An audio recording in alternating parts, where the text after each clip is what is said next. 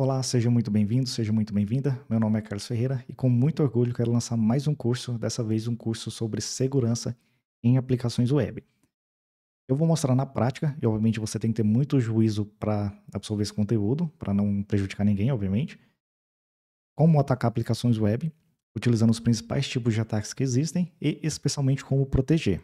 Eu vou utilizar a linguagem PHP para fazer essa proteção, mas obviamente você pode utilizar isso com qualquer outra linguagem, porque esses conceitos são agnósticos de linguagens. É, então, você quiser utilizar, por exemplo, Node, quiser utilizar é, Go, você quiser utilizar Python, tanto faz.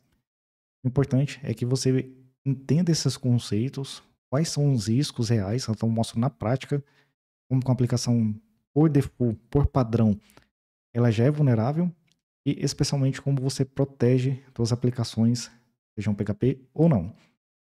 Então, fica aqui meu convite para você aproveitar esse curso. É um curso totalmente gratuito, onde você vai aprender na prática como criar aplicações mais seguras.